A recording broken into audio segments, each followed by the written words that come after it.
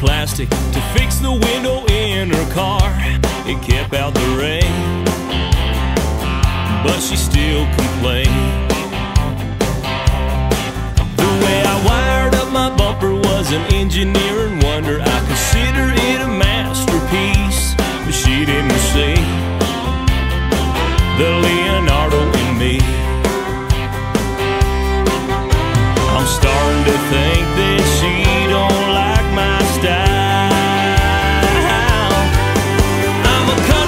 Survivor, a modern day MacGyver. There ain't nothing I can't fix. Got a problem, I'll solve it using backward logic and the tools that I was raised with. She should appreciate me, but I'm thinking maybe she just don't admire my skills with duct tape and baling wire.